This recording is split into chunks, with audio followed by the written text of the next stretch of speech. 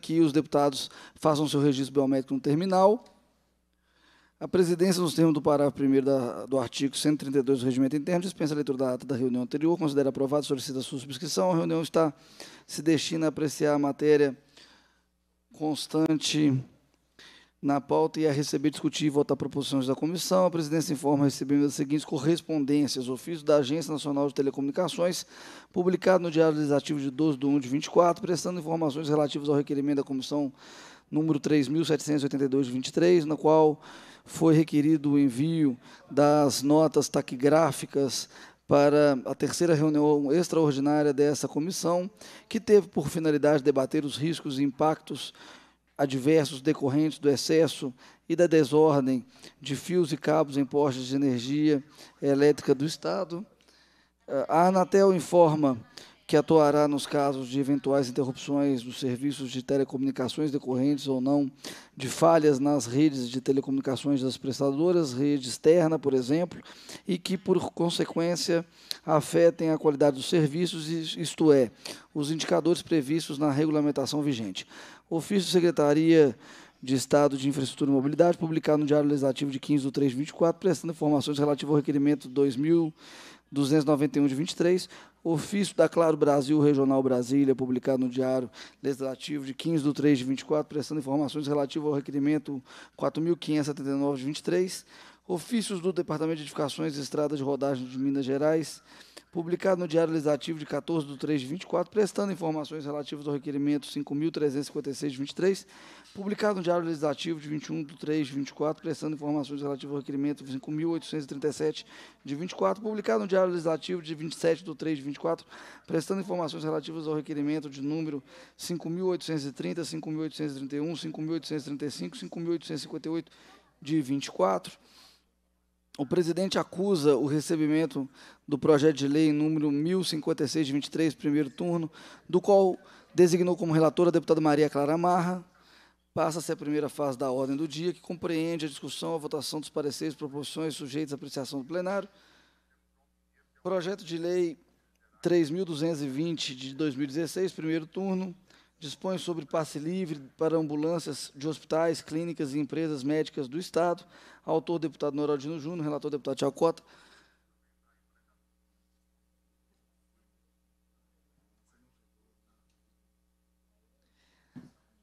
Faço agora uso da palavra para leitura do parecer de número 3.220 o projeto de lei epígrafe de autoria do deputado Noraldino Júnior dispõe sobre passe livre para ambulâncias de hospitais, clínicas e empresas médicas do Estado.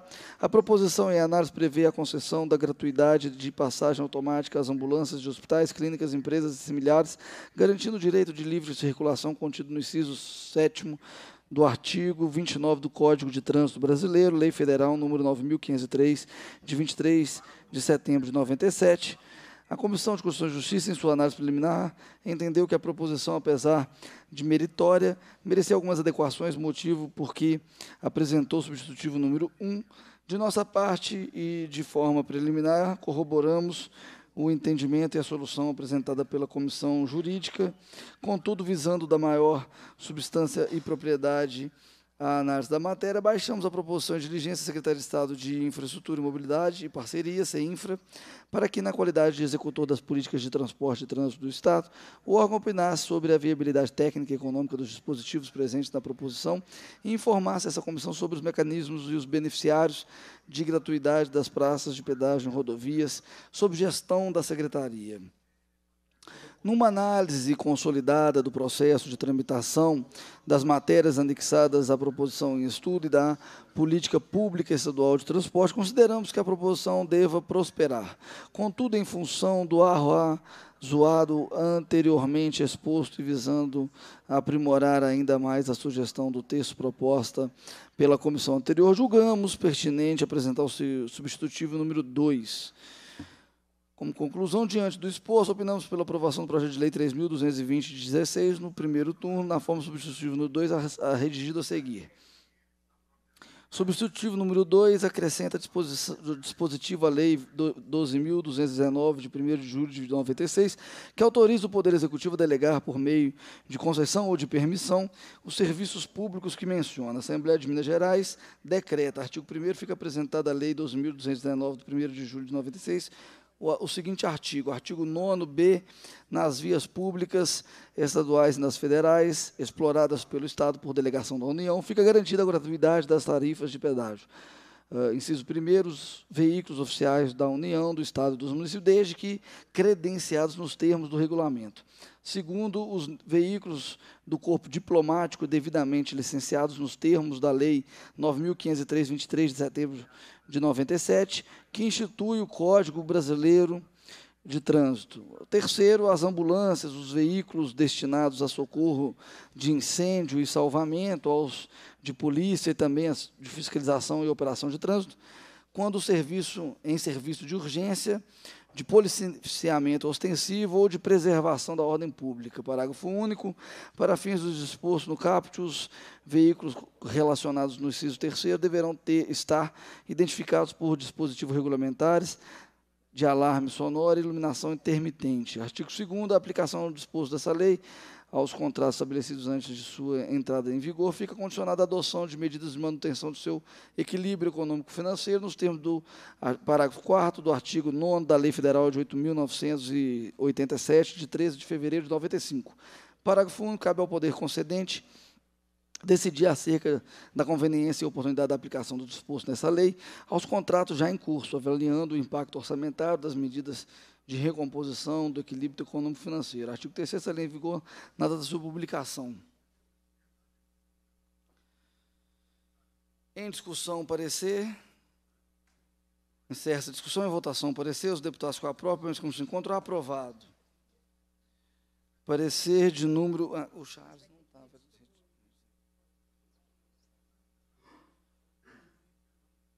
Projeto de Lei 1328 de 23, primeiro turno, dispõe sobre a desafetação do trecho da rodovia que especifique e autoriza o Poder Executivo a doá-lo ao município de Piranguçu. Autor, deputado Duarte Bexi, e relator, deputado Charles Santos, na sua ausência, redistribuo a relatoria para o deputado Celindo Sintrocel e pergunto mesmo se já está em condições de fazer a leitura do seu parecer. Sim, presidente. Com a palavra, deputado Celindo Sintrocel. Parecer para o primeiro turno do projeto de lei 1328-2023. De autoria do deputado Duarte Bexir, o projeto de lei em epílogo dispõe sobre a desafetação do trecho de rodovia que especifica e autoriza o Poder Executivo a doá-lo ao município de Piranguaçu. Piranguaçu. A matéria foi distribuída em comissões de Constituição e Justiça, Transporte, Comissões de Obras Públicas e Administração Pública. A Comissão de Constituição e Justiça concluiu pela juridicidade, constitucionalidade e legalidade da proposição de forma do substituto do menu que apresentou. Vem agora o projeto a este órgão colegiado para dele receber parecer quanto ao mérito nos termos do artigo 188, combinado com o artigo 102, inciso 12 do Regimento Interno. A proposição em comento determina a desafetação do trecho da rodovia MGC 383, compreendido entre o quilômetro 377,6 e o quilômetro 379,5, com extensão aproximadamente de 1,85 km, e autoriza o Poder Executivo a doar ao município de Pirangaçu, Piranguçu a área correspondente a esse trecho rodoviário, destinando à construção de um portal também apresenta cláusula de reversão da área de patrimônio do Estado, caso a destinação prevista para o trecho não efetive ao término do prazo de cinco anos contado da publicação da lei. A Comissão de Constituição e Justiça, nos termos do artigo 301 do Regimento Interno, baixou a matéria em diligência à Secretaria de Estado de Governo, Segov, e à Prefeitura Municipal de Piranguçu para que se manifestem a respeito. Em resposta, a Segovia enviou a esta casa posicionamento da Secretaria do Estado de Infraestrutura Mobilidade, Parceria e Departamento de Estado de Rodagem, por meio das quais esses órgãos se manifestaram favoravelmente à pretensão da proposição em estudo. O município de Pranguçu, potencial donatário em manifestação, também se mostrou favorável à municipalização desse trecho de rodovia. De posse dessas informações e na, incompetência na competência regimental, a Comissão de Constituição e Justiça concluiu entre outras ponderações, que a transferência do citado trecho ao município não implica alteração em sua natureza jurídica, bem uso comum do povo. Tão somente a sua titularidade, pois passa a integrar ao patrimônio municipal, contudo, elaborou o substitutivo número 1 um, com o fim adequar a proposição à técnica legislativa. Nessa parte, de nossa parte, lembramos que o projeto em análise é autorizativo e lega a discricionariedade do Poder Executivo para tal doação. Se efetiva, o trecho passará para a jurisdição municipal e será inserido em seu patrimônio urbano. Assim, do ponto de vista da política pública estadual de transporte, não vemos óbvio para que a matéria prospere, uma vez que o trecho rodoviário continuará como via de passagem pública e terá manutenção e operação custeada pelo Executivo Municipal. Conclusão. Diante do exposto, opinamos pela aprovação do projeto de lei 1328-2023 no primeiro turno, de forma do substituto número 1 da Comissão de Constituição e Justiça. Este é o parecer, presidente. Em discussão, parecer. Não havendo quem faça uso da palavra, encerra-se a discussão. Em votação, parecer. Os deputados e deputados com a própria, como se encontram, aprovado.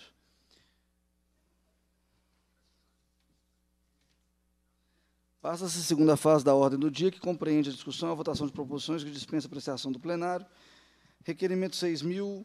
351 de 24, turno único, requer seja encaminhado ao Departamento de Estrada e Rodagem de Minas Gerais, pedido de providências para a realização urgente de obra de recuperação no trecho uh, rodoviário das rodovias MGC 265, MG 132, municípios de Barbacena e Alto Rio Doce. Autor, Comissão de Assuntos Municipais e Regionalização.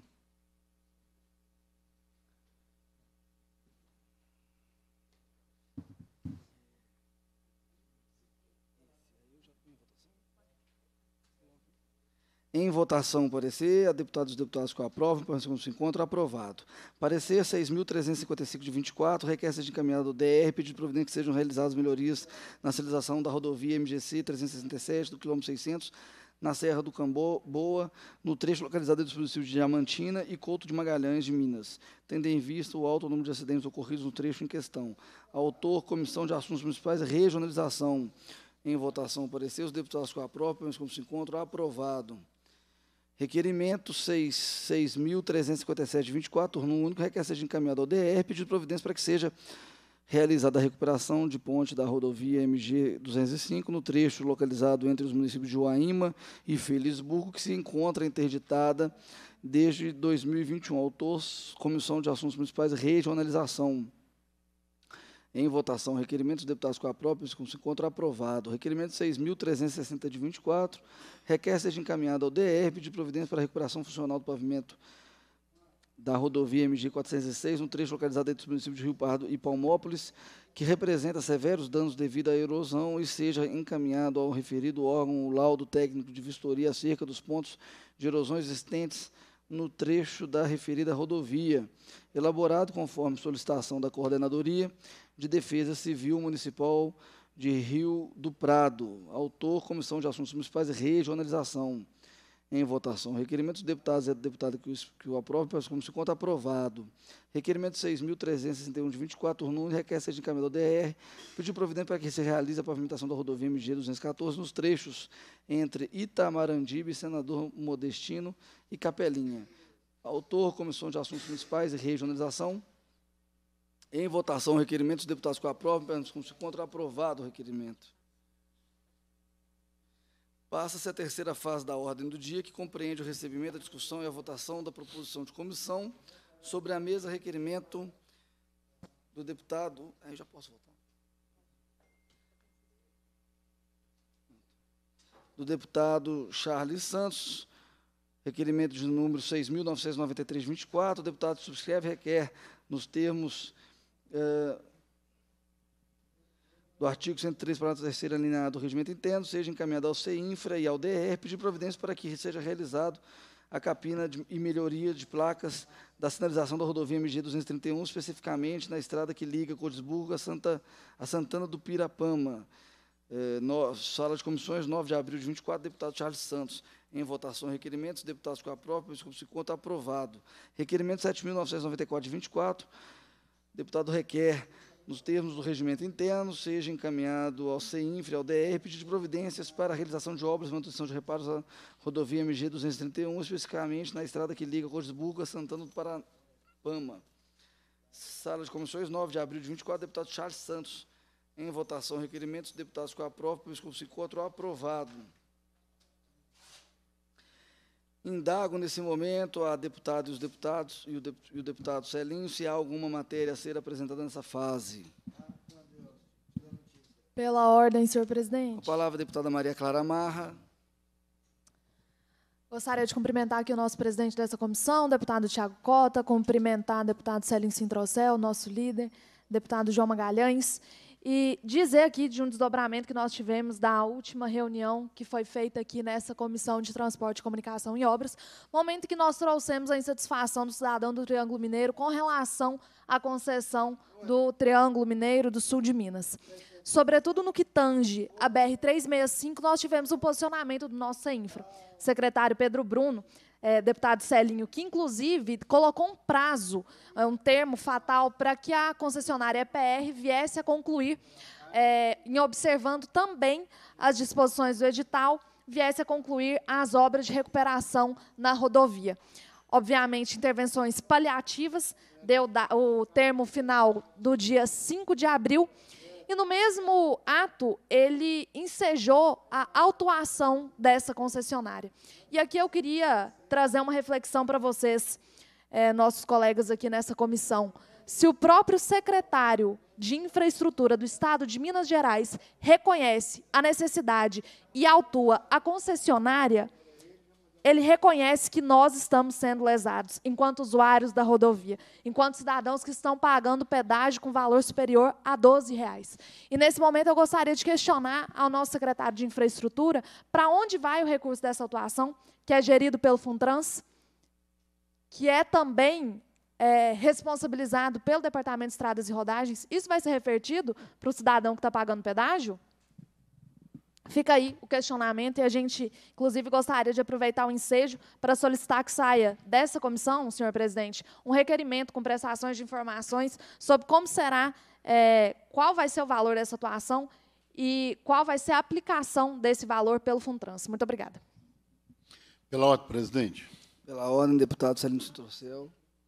Presidente, eu gostaria que, nessa oportunidade, nesta reunião da Comissão de Transporte, fazer aqui, trazer aqui algumas informações importantes para Minas, para o Brasil, que nós recebemos ontem, na tarde de ontem, no Vale do Aço.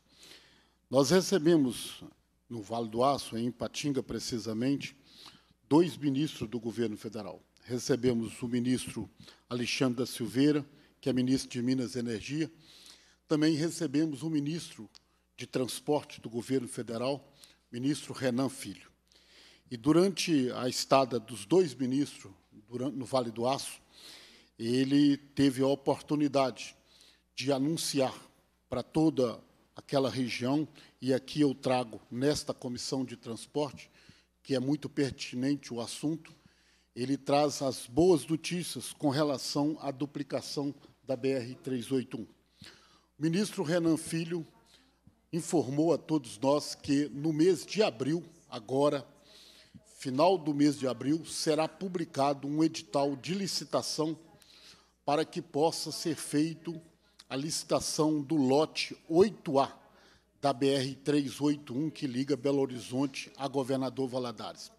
E que no final do mês de maio será publicado também um novo edital de licitação do lote 8B, cujo os dois lotes somados o governo federal, através do Ministério de Infraestrutura, fará todas as obras de duplicação que liga Caeté até Belo Horizonte, colocando fim naquele trânsito, aquele congestionamento, naquele gargalo que na chegada de Belo Horizonte, trazendo tanta dificuldade para todos que usam a BR 381.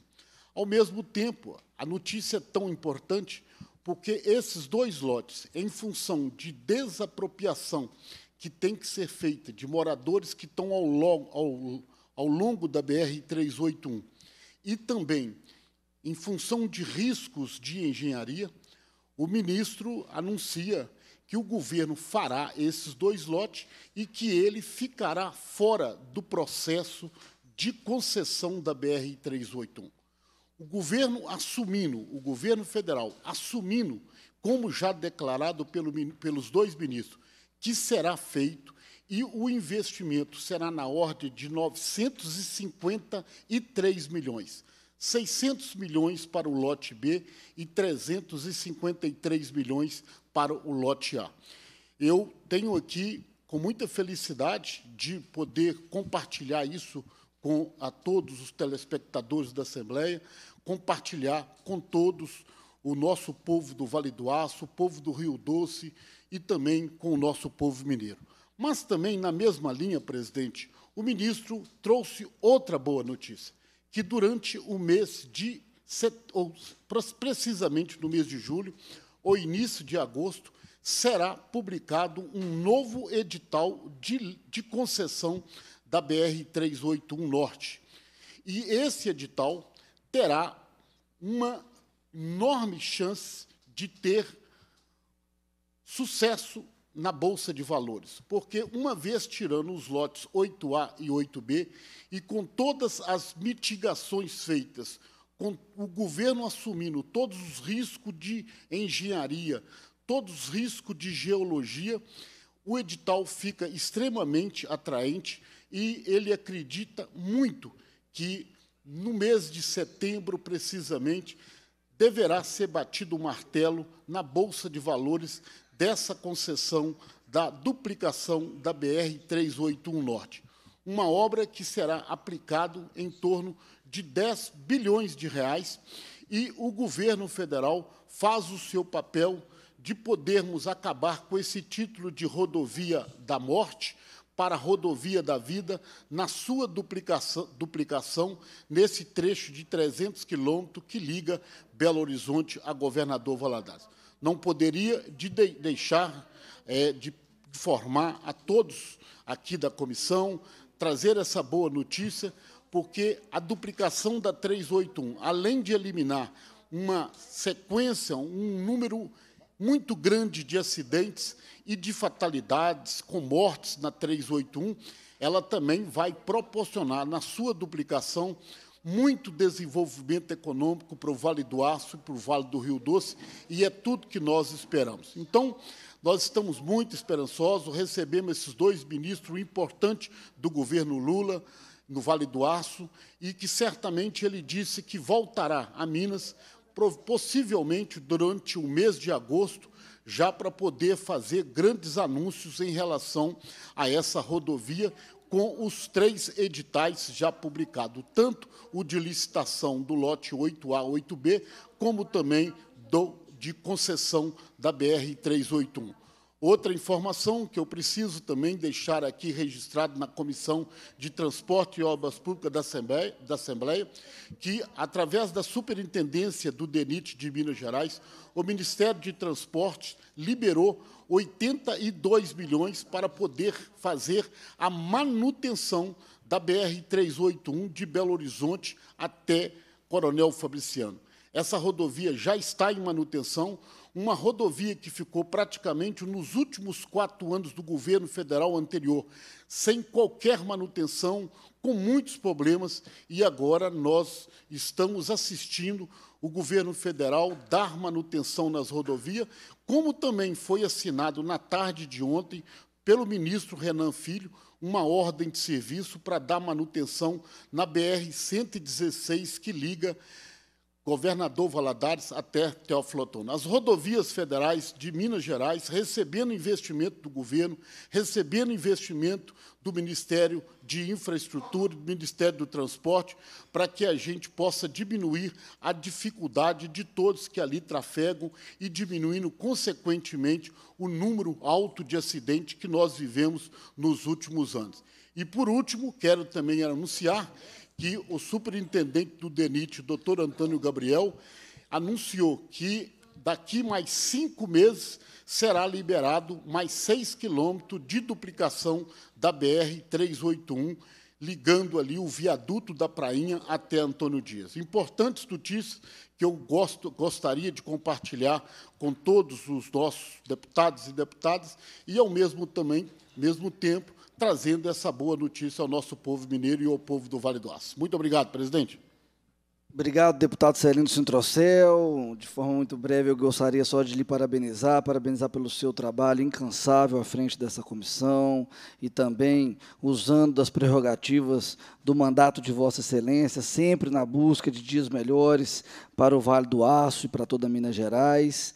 Parabéns ao governo federal também, que houve, de certa forma, uma sensibilidade total e uma sinergia com estas demandas, que já são demandas de longa data para o povo mineiro e tem enfrentado com muita altivez e buscado soluções para as crises que nós temos vivido e na busca de podermos conseguir até que até é, enfim esse esse recurso para viabilizar é, essas estradas que são tão importantes do nosso estado de Minas Gerais. Passo a palavra para a deputada Maria Clara Marra para que ela faça a leitura do requerimento. Após a leitura, nós faremos a votação do requerimento. Excelentíssimo senhor presidente, gostaria de encaminhar desde já pela aprovação do requerimento para que seja encaminhado ao secretário de Estado de Infraestrutura e Mobilidade em Belo Horizonte pedido de informações sobre o valor pecuniário das autuações aplicadas pelo órgão à concessionária EPR Triângulo, em função do descumprimento de obrigações contratuais. Outro sim que informe a destinação desse recurso, se seria possível sua reversão à modicidade tarifária, considerando ainda que esse recurso está sendo angariado para os cofres do governo do Estado de Minas, para o Funtrans, cuja gestão compete ao Departamento de Estradas e Rodagens, e nesse momento a gente questiona por que não é, faça um aceno ao usuário da rodovia. Nós temos diversos é, casos aí em que houve aporte do governo para que as tarifas fossem reduzidas. Inclusive, cogitou-se é, em outras concessões, que fossem aproveitados recursos advindos dos acordos de Brumadinho e de Mariana. Por que, que a gente não consegue falar nesses termos quando se trata de concessões com a EPR concessionária?